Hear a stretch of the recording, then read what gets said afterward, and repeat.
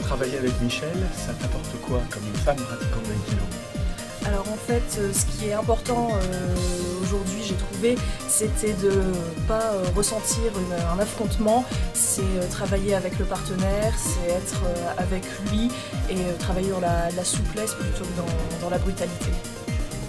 Merci Cécile. Merci Cédric.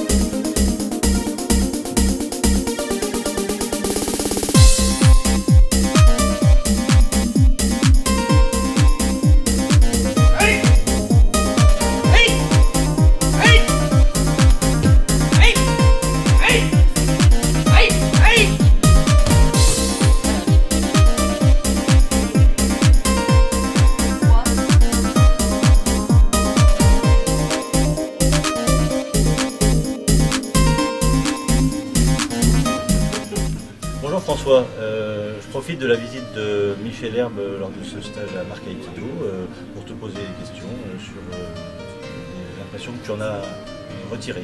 Bah, je crois d'abord que c'est un grand rafraîchissement pour nous, pratiquants, et aussi la façon d'avoir des lignes directrices pour cette saison qui arrive. D'accord. Et la pratique du Joe, qu'en as-tu pensé?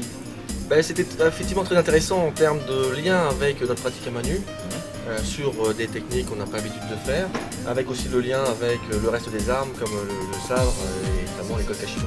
D'accord. Bah, merci beaucoup François. Et la ligne est sur les, pour les pieds.